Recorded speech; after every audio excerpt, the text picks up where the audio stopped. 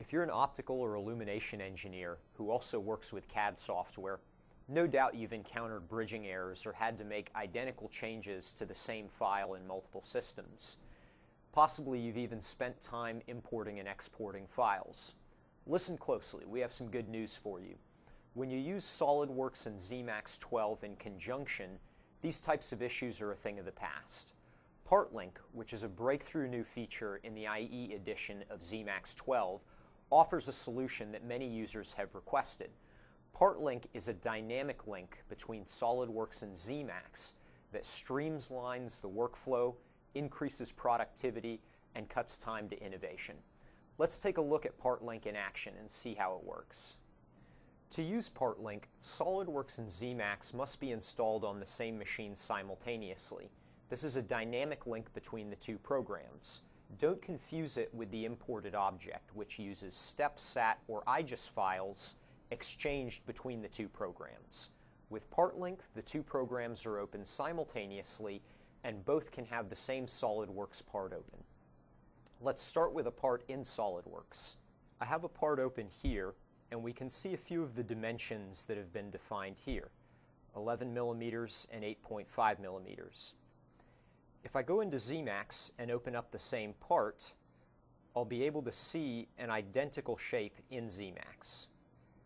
I go into the Object Properties dialog to the Type tab and select the SOLIDWORKS PartLink object, select the same object that was open in SOLIDWORKS, and click OK. ZEMAX loads in that same part, and I can see here the exact same shape that was in SOLIDWORKS. If I want to call out the dimensions to modify them in ZEMAX, I would go to the Object Properties dialog to the new SOLIDWORKS Part Link tab. I can click on as many dimensions as I like. I'll expose two of them here. And now those dimensions are available to be modified in the NSC editor. If I change one of them, the dimension is dynamically changed in both ZEMAX and SOLIDWORKS, and I can clearly see the effect of that change in the shaded model. If I want, I can also save this modified file.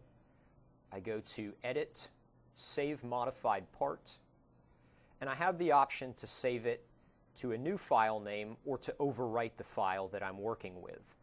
I'll choose to overwrite the file.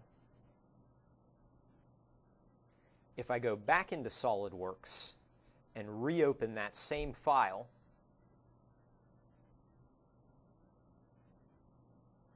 I can now see the part that was modified inside ZEMAX. Here is the modified dimension. This has been a complete round trip closed loop discussion of the SOLIDWORKS part link inside of ZEMAX. As you've seen, we can dynamically link ZEMAX and SOLIDWORKS to modify parts interactively. The parts can be saved in ZEMAX, seen in SOLIDWORKS, and the two are dynamically seen in both. This is just another of the breakthrough features in ZEMAX 12 IE.